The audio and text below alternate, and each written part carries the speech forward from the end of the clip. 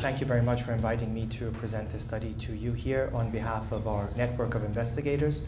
Uh, we were really a collaborative team of emergency, critical care, anesthesia, and uh, neurology researchers. Um, uh, the study was principally funded by the John Templeton Foundation and the Resuscitation Council UK that I'd like to thank, but we also had support from the NIHR in the UK and our Department of Medicine uh, at NYU. I'm personally also funded by the NIH, but that was not used for this study. Uh, the equipment that I'll be talking about was loaned to us by Nonin Medical and, and Masimo. However, they had no role in the design or any other aspect of the study. Um, we've heard a lot about different aspects of cardiac arrest research, and I'm certainly interested in all of these. If you wanted to break them up, we'd look at the different predictors of what may cause a cardiac arrest. A lot of our efforts are focused on resuscitation and trying to restart the heart. Also recognizing the need to treat the brain and avoid brain injury the post-cardiac arrest syndrome. But I think one of the areas that's somewhat neglected is actually recognizing that there is a human being in there that the patients that we're treating have a mind and a consciousness. And so, so, the question is really what happens to the brain and consciousness in people who are going through cardiac arrest. And I think clearly that must have a relationship with the overall survival, survivalship uh, in these patients. And so what I'm going to be focusing on is research in this particular area. Um, if you look at the literature, there isn't much published on psychological outcomes in cardiac arrest patients. What you typically hear are things like post-traumatic stress disorder, depression, anxiety, and you can see sort of prevalence of 20 to 50% in survivors. Uh, there's also a group who have what I call positive psychological outcomes. These are people who end up with more gratitude, more, more resilience, uh, more altruism. And they typically have described this in the context of having had experiences during their cardiac arrest. But that's really all that we know. But certainly, if you look at this kind of concept, you'll see that there are different things that are described in the literature about what happens during cardiac arrest. One of which has come into the fore is the concept of CPR induced consciousness. This is essentially when practitioners observe signs of consciousness in people groaning, rolling, moving. Um, and from the descriptions we have, and there's very little on it, it's about 1% that has been described. The other type of sort of conscious experience that occurs are actually patients' own perceptions of being conscious and lucid, in effect with heightened consciousness, observing hearing resuscitation attempts on them, and even having a sort of a transcendent experience. And you may have heard of people who describe sort of deceased relatives or seeing a light and so on. Um, that has also been described in about 10 to 20 percent. Um, and some of those people have, as I said, described sort of watching events going on. And there are other themes that have been described which we can't really categorize and don't know too much about. But certainly, if you look at the literature, it suggests that there must be some consciousness or awareness going on during cardiac arrest. And so we really tried to test the hypothesis, essentially, that consciousness or awareness is going on during cardiac arrest. And there may be explicit recall of events, but also not forgetting the concept of implicit learning, that is unconscious learning. In other words, you can't remember it, but if we trigger your memory, you'll be able to then recall that you had actually had consciousness present. And that's been shown in studies during general anesthesia to be present. And we think that that may be related to the quality of brain resuscitation. So the primary aim of this project was to first of all understand the breadth of cognitive themes that people have um, that relate to their awareness as well as their memories in cardiac arrest survivors. And secondarily, we wanted to see whether we can install tests, independent tests to determine consciousness and awareness, particularly implicit learning in patients, together with brain monitoring systems to understand what's happening in the brain in real time while patients are having resuscitation, and in particular, EEG markers. So um, if you look at this, we had to sort of design this in an unorthodox manner. We had predominantly a prospective study that I'm going to describe, but recognizing that a prospective study is not ideal for low survival states like cardiac arrest, unfortunately, as we've heard, uh, we also combined this with a cross-sectional arm knowing that there are many survivors in the community that we could talk to to understand about the themes that they've recalled. Within the prospective arm, we installed brain monitoring systems, tests of explicit recall and implicit learning during the cardiac arrest. And then among the survivors, we conducted interviews. And as I said, we combined that later on with the cross-sectional group. So in terms of brain monitoring, uh, we use brain oximetry uh, together with a portable EEG device that is frontotemporal, four-lead EEG that's placed on the forehead uh, all of our staff were equipped with a bag that had these pieces of equipment in them, and they were notified of the time of cardiac arrest, and they had to get there within about five minutes and then install these devices without interrupting chest compressions. In terms of testing um, um, consciousness and awareness, we had a tablet, as you'll see here, um, uh, installed in the room that with a Bluetooth headphone that would deliver audio-visual cues to the patients, so we could later test them to see if they'd had any recall. And here's the test, the team trying out the system. You'll see there are four different devices: EEG, brain oximetry, headphones, um, and the tablet. Uh, in terms of patient recruitment, um, in, we had 2,400 patients roughly eligible within the, the group uh, of hospitals who participated. As you can recognize, it's a very challenging study to do and recruit patients. Uh, but we nonetheless managed to recruit almost 25%, uh, 24% uh, of the population, which is 567 patients. The reasons why patients were not included was often to do with staff not being able to get the cardiac arrest within time because they had to get there within roughly five minutes. Sometimes devices were being used on other patients, and uh, sometimes patients were found to be futile, and so CPR was stopped, and various other issues that go on. Uh, we had a, a, return of spontaneous circulation rate of 37% uh, and a 10% survival to discharge.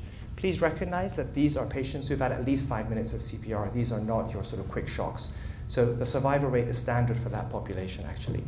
Um, and of those, uh, 28, so out of 53 people were able to undergo interviews in the prospective arm, uh, and uh, the remainder were too sick.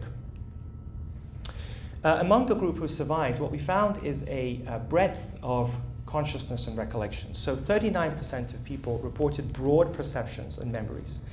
These were not necessarily being able to recall specific events, but they felt that they had been conscious or had specific memories. If you then broke this down further, 20% of the, the group who survived had a transcendent experience uh, regarding their uh, cardiac arrest. 7% of these, uh, and I'm going to talk about that in a moment, 7% of the experiences were more compatible with CPR induced consciousness. You'll see what I mean in a moment uh, with that. 7% had perceptions of auditory awareness and hearing different things, discussions, and 3.5% had visual awareness. So what cognitive themes did we find? We analyzed these using grounded theory, and we found that here, so CPR-induced consciousness, um, essentially people, um, each of those lines that you see, this is a Sankey chart, each line is a specific patient, and what you see is that they describe events related to chest compression, so feeling the compressions, feeling the defibrillation, feeling the pain, hearing sounds of doctors talking around them. You can see clearly here that the population actually uh, clustered very nicely into these four broad themes. And so based upon that, we were able to deduce that these patients had CPR-induced consciousness. In other words, they were recalling real events related to their chest compressions, CPR. Um, we recognize also that if you interview patients post-cardiac arrest, we shouldn't forget that they end up in the ICU for some period of time. So uh, they start to emerge out of their coma. And so a number of things that they talk about actually relate to emergence out of coma in the ICU. And again, you'll see here that the descriptions actually cluster very beautifully together into specific themes. The themes being, for example, waking up uh, feeling confused, uh, waking up to pain, uh, waking, you know, having uh, understanding of being in the ICU, and so on. So these are very specific themes that relate to that.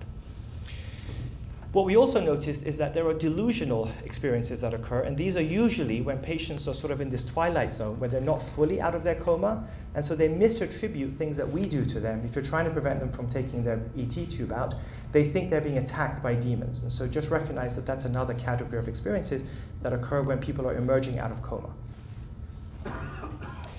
Now, one of the other things that we found, which again, and you'll see here, the clustering is very strong, is this recalled experience of death. These are essentially people's perceptions of having died and come back again. So this is a recollection you may have heard in the media, but this is something we found in our group.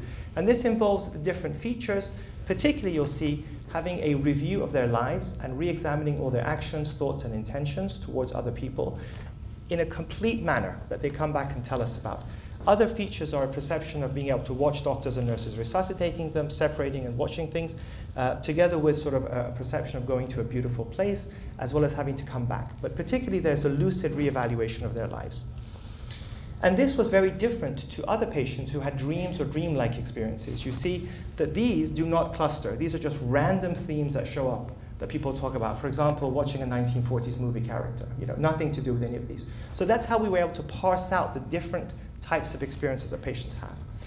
And just to show you that particular sort of life review, I think it's important and, and, interesting to see. Here's somebody who says, you know, these are different people. I was given a life review. During the review, we revisit scenes from our lives. Another person said, I saw my entire life in great detail and experienced feelings through it of satisfaction, shame, repentance. Another person said, It was then that all my memories flooded back into my head, what I had done and what I thought.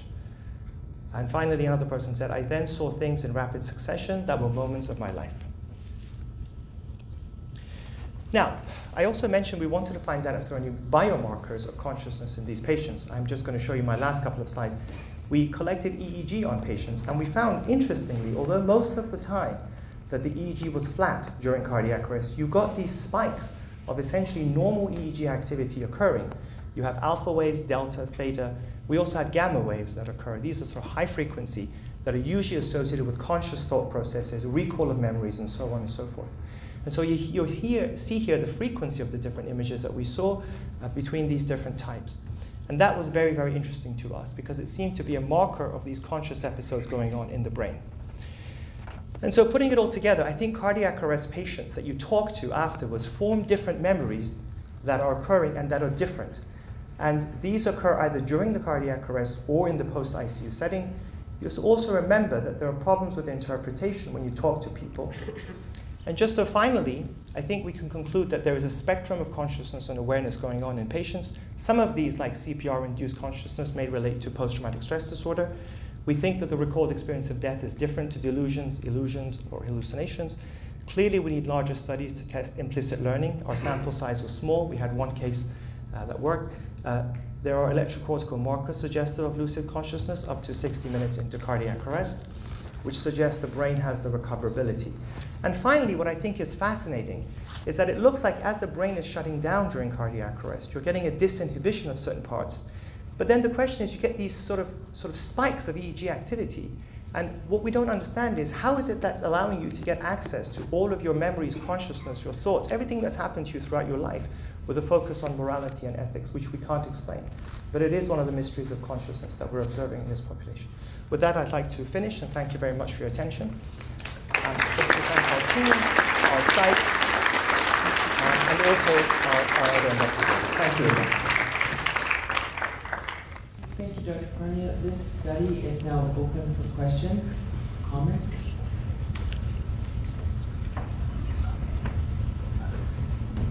Hi, my name is Astrid Pratt from Congratulations the study, very interesting. Um, how many of these patients were in intensive delirium? Did you examine that? How many patients had delirium, you were yeah. asking me? Um, the delirium actually we identified in the cross-sectional arm. These were the community survivors. So these were a um, a group of patients who were sort of self-selected because they came forward to us. I didn't look at the exact frequencies, we just characterized the themes and divided them into groups. We didn't find them in the prospective arm though, but there were very, you know, 28 survivors only in the prospective arm. Thank you. Uh, Grace said, uh, Ari Moskowitz, Quantum Medical Center of Disclosures. I'm curious if you looked at uh, the cultural context of some of these memories, if there were differences across different cultures, what people were remembering for certain themes, or is it sort of consistent across all cultures, or is that something that you're looking at in the future? That's a very good question. Actually, these recollections are universal. They've been described. It's just that there haven't been enough studies in them. One of the things that's fascinating is, is that people do focus on their morality and ethics, but actually they don't focus on cultural issues when they're having their life review or religious issues which is very interesting. None of them, nobody says, for example, how often I went to church or how often I went to temple, but there's a pure focus on their uh, morality and ethics and how they conduct themselves towards others, which we can't explain. Why should that happen when somebody's dying and their brain is shutting down and we're doing chest compressions on them? But it seems to occur. Thank you.